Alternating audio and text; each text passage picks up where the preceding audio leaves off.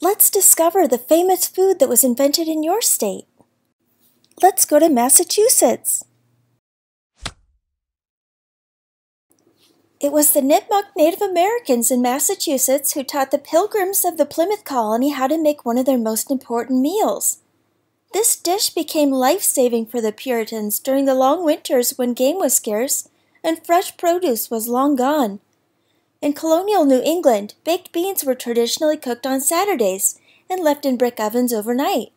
On Sundays, the beans were still hot, allowing people to indulge in a hot meal, yet complied with the Sabbath restrictions of their religion.